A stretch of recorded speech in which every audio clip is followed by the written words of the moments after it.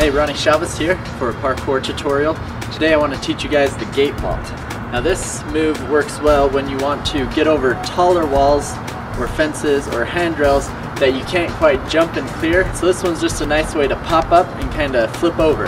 So to get started on this vault, I recommend finding a handrail. You can learn it on a fence. Virtually any type of bar structure you can learn this trick on as long as you have somewhere to put your lower hand. So let me show you what I mean. So you first come up to your bar structure. The idea is that you're going to be reaching down to lower your center of gravity and then just by natural gravity let your legs fall and then flip over.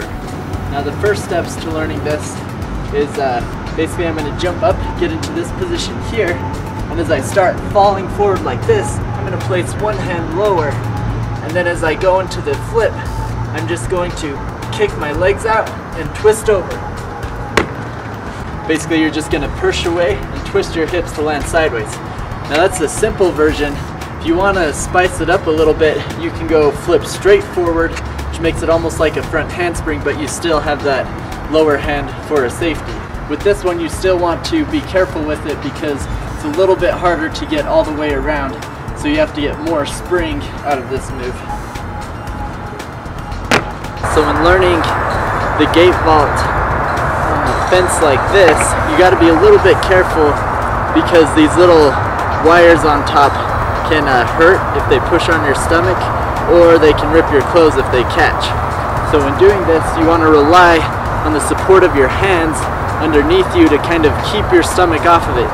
You can rest your stomach in some cases, but I would recommend avoiding that so you don't get any cuts or ripped clothes or whatever may happen. So as you can see, I jump up as this hand on the fence keeps my stomach off. I begin to fall forward place my other hand on the fence here and then let my momentum just push and kick me over. So this is a trick you can just have fun with and play with, try different variations, different hand placements, because you can really place your hand on any of these bars here to get different leverage and push on the gate vault.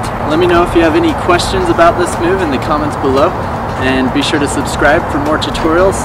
Thanks for watching.